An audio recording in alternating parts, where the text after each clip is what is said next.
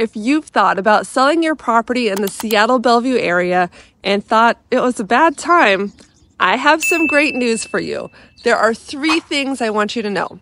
Number one, buyer demand is really increasing, and while home prices are still very close to that all time high.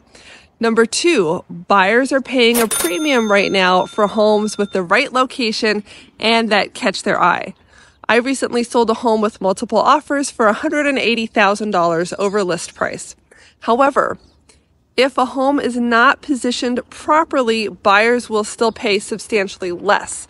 And number three, many buyers who have been sitting on the sidelines in the last 12 to 18 months are now coming back into the market. Demand is high, inventory is low, and because of this, I just put together a short quiz for you to receive from me. It's personalized. It's going to be a home equity report on your home.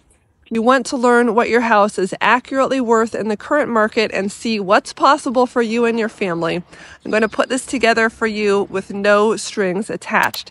So click the link below or above or around this video and I'll analyze your home for free and send you the report with no obligations. Click now for your free home equity report.